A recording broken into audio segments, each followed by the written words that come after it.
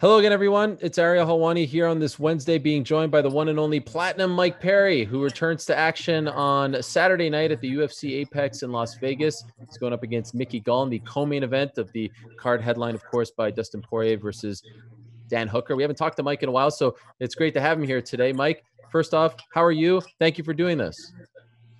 Yeah, uh, thanks for the platform to get to talk to these haters, and uh, you know at the end of the day, you know, it's not really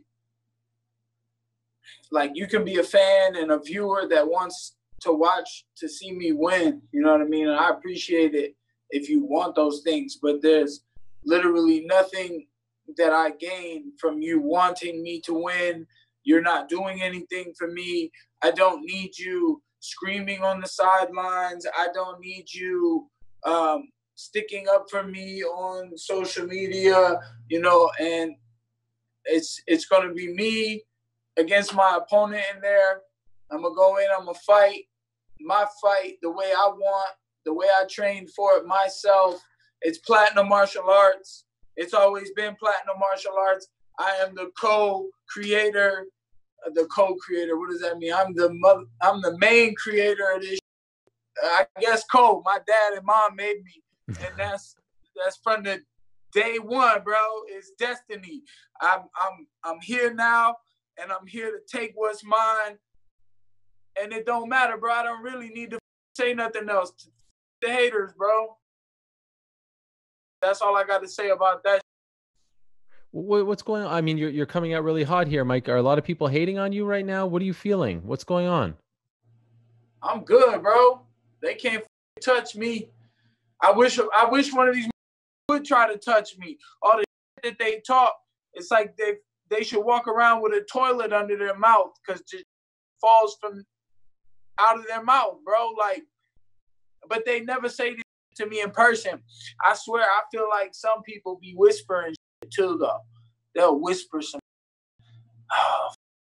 Oh, oh my god, bro! I'm about to make this money. I'm about to beat the of this little white boy from New Jersey, man, and I'm about to get paid, and I'm living my life. I'm gonna go drink some mai tais and do some mai tai and some, you know, and eat. I'm hungry as.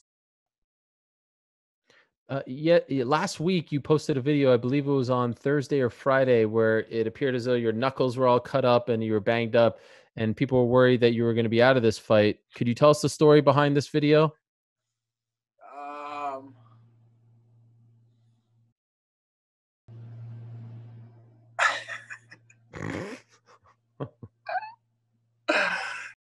I just uh I beat up these two bouncers, man, in this in this uh that was a long time ago though. Obviously, I'm not all ah I'm not all cut up.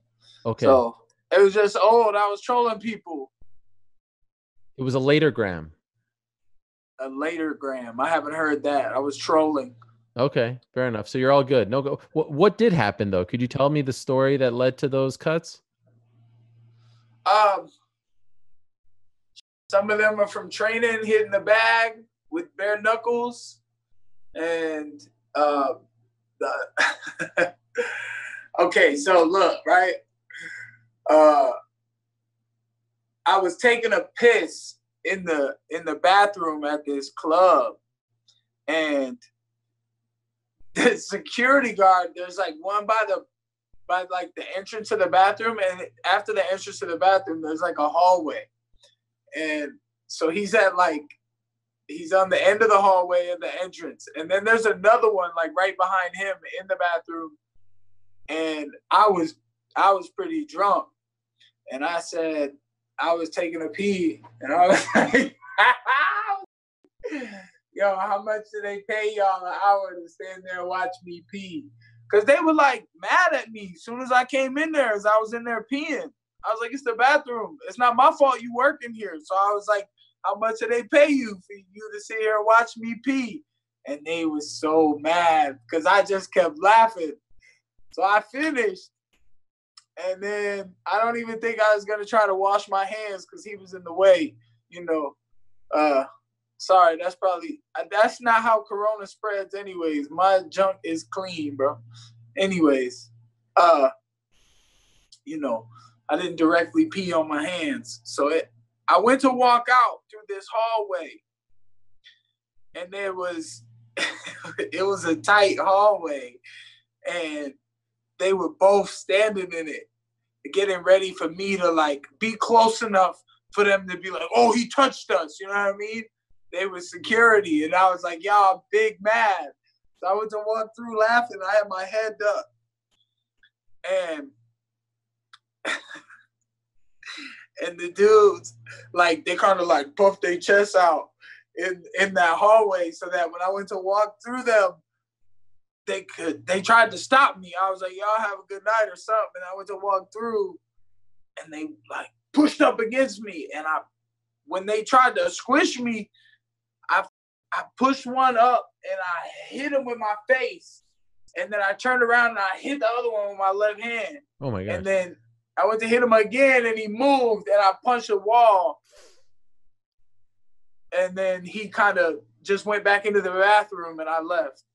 Whoa. When was that? This was like six months ago. Oh wow. Okay. And did anything else happen as a result of that, or just kind of ended? No, I, we left. I left the club, bro. I just got out of there. okay. Damn, that's crazy. Um, well, I'm glad you're okay. Uh, so that there's so there's two big questions surrounding you going into this fight. There's your hand and the cuts and all that. So I'm glad we cleared that up. You're good to go. The other one is, uh, is it true that you are only going to have one corner person for this fight, and that is your girlfriend? Yes, sir. Just one. No one Yeah. else. No one else. Why? Cause she's perfect. Does she have experience in terms of martial arts training or cornering people? Uh, cornering, no, but no, she's just a tough little peanut butter cup chocolate chip cookie, and she has experience in boxing and wrestling. She wrestled throughout high school, believe it or not. Um, and she's gonna do the number one thing that I could ask of a coach is just sit there and enjoy the show because you got the best seat in the house, and I don't need your advice anyways. I've done the work. It's done. I've seen the fight in my head a thousand times, and I'm gonna hit this dude in the face and I'm gonna bust his chops, bro. That's it. Did you train with a team or any coaches for this fight, or did you just train on your own? Um, I did. I went to some gyms. I got some jujitsu in with uh this one gym. You know, I try. I'm. I like to go around and uh, give my time to the martial arts community, and I'm I'm good to have in your gym. I'm a good training partner. If I can come in and get some work with the bodies and people from all over the world, from all types of gyms, uh, they they show me respect and uh, you know they're grateful for me coming out. I take pictures with fans and also other uh, up and coming mixed martial artists. Um, going to some gyms, ran into other UFC fighters, get some work, give them some tips. Um, and I'm not gonna sit there and let their coaches tell me do this or don't do this or like no, and we'll we can work positional stuff, and I'm gonna show you where it's where it's gonna go and what's gonna happen, and then we can work on things um, from there. I feel like the UFC is calling me. They're trying to get in touch with me, like I did something wrong. And Oh. yeah, they keep trying to get a hold of me. But you know, she's just gonna sit there quietly, and then she's gonna cheer when I win. Uh, how did you guys come to this decision? Was this something that you decided early on, or you just kind of felt like it was right recently? Um, no, I knew what I wanted to do a while back, and um, it's been me and my girl, uh, just us doing our own thing, taking care of life, handling business out here, and um, we're a great team. I handle my part, she handles hers, and that's just sit there and look beautiful. You know what I mean? And and uh, help daddy feel like you know a champion inside and i do so I'ma handle business, bro. Ain't nothing to it but to do it. Could I ask, and, and I totally understand if you don't want to answer this, but because it was so public, you know, when you got married recently, now obviously you're no longer married. What happened? Oh, uh, just wasn't meant to be, bro. This is. This is meant to be. Uh, You're happy? Absolutely. It's. I'm living my dreams, bro, and it it's taken a while to get here. And you know what can I say? Uh, they need to relax. Calling me three damn times. Would y'all relax? I'm do. I'm having a conversation here. I'm gonna be out there in a second. I'll call you right back. I saw the first one. Anyways, this bro, there's nothing else I want in life. What else do you want to be a fighter for? I want to be a fighter for the baddest little chick that I could get ever. And I got her. And now I get to show her. Like, come on, watch this, honey. Watch this. Check this out. I'm going to bust this boy's chops and we're going to cut the check and we're going to have a, a little celebration and pop bottles and we're going to get on the boat and we're going to drink mai tais and we're gonna throw money the, in the air for no reason because we can. It sounds like a great. Now, I gotta call the UFC back, Ariel. You're gonna get me in trouble with ESPN and the UFC. No. You got more questions? You asking some personal stuff now. No, no, okay. Well, can I just ask you? I mean, um, it didn't seem when you got the Mickey Gall fight, you were like, man, I've been fighting top contenders. I'm happy they gave me this guy. So you feel like this is relative to the recent fights that you've had this is a, a, a favorable matchup for you. Would it be fair to say that? And if so, why? It's just how I'm gonna treat it, man. The great Kobe Bryant said, "As soon as you think about competing, you've already lost." There's no competition for me. I am the greatest fighter on the planet Earth, and I just need to remember that when I walk up in there. No crowd yelling belligerent things, no distractions like that. I'm gonna go in here and I'm just to flow. And it's to be beautiful. There's going to be blood all over the canvas and it's going to be painted pretty red. And my I'm going to do a, a bloody snow angel in the middle of the ring and tell y'all to bow down to the queen. Uh, do you like the idea of fighting? Uh, do we, do we still, could we have like five more minutes? Is that possible, or do you do you want to wrap this up? Yeah, no, it's five minutes is good. Okay. Um, do you like the idea of fighting in an empty arena? Have you ever done that before? Um, I mean, yeah, when I go train, right? Right, right, of course. But I mean, like, a, like training. Right. I'm going in some big buildings that were empty, and yeah, and I've when I think my first, you know, your first pro fights or your first amateur fights, or they got some, you know, we just fought wherever, bro.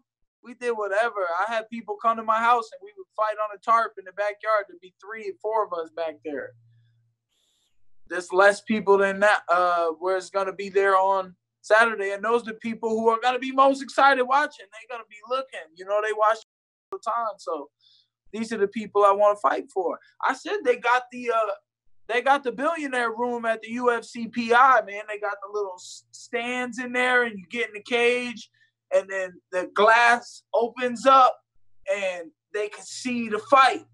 Like, come on, let's go. Let's set up some big uh, money undergrounds. yes. Uh, would it be fair to say if all goes well on Saturday, uh, regardless of what happens in his fight next month, that that you want Darren Till next? Are we going to get some sort of conclusion to this feud? Because it seems like it all of a sudden has ramped up after it seemed like you guys were friends and now you're not friends. W- would that be a fair statement? I've never been his friend. I don't know him. He don't know me. The whole world and the internet want to act like they know somebody but they don't have no idea who they talking about until they walk up on them. I ain't, I ain't taking no pictures with you bums. I don't trust none of y'all. Y'all can stay away from me. Keep my name out of your mouth. If you call my name out, you can go fuck yourself. I don't want no fans. I don't want no friends. It's just me by myself, and I'm my girl got my back. So, and she ain't got to do nothing. She ain't gonna have to lift a finger. It's all me. It's always been all me. The rest, I'm out this. Thank you, Mike. Thank you for watching ESPN on YouTube. For live streaming sports and premium content, subscribe to ESPN Plus.